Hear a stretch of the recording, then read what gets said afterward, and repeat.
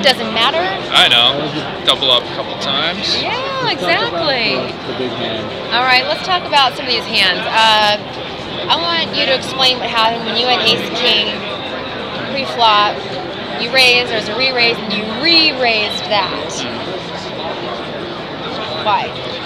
Uh, he made it 11k. I made it 35, and he made it 100. And he had about 160 behind that. And uh, what I notice about a lot of these like live players is that when they're faced with a, a difficult decision, they don't really calculate pot odds. They just kind of like put their opponent on a hand and just make a decision. Okay. So I, I kind of felt like he was making a play, and I also felt like he wouldn't feel priced in if I shoved. So I decided to shove because I thought he would fold a lot of hands there, and uh, I just ran into kings. But I mean, he's going to fold jacks. He, he's, he told me he'd probably fold queens. But, uh, Really? yeah. I So just feel like Ace King is such a dangerous hand. You know what I mean?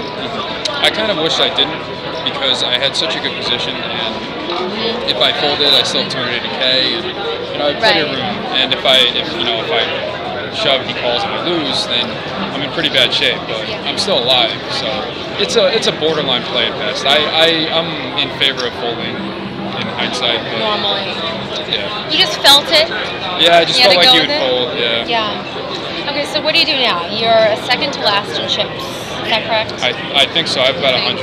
Um, every round is about 20k, so I have five rounds of play left. So you um, might just keep pushing. I'm, I'm probably going to be shoving good, good hands the first round, and the second round I'm just going to be shoving everything. yeah.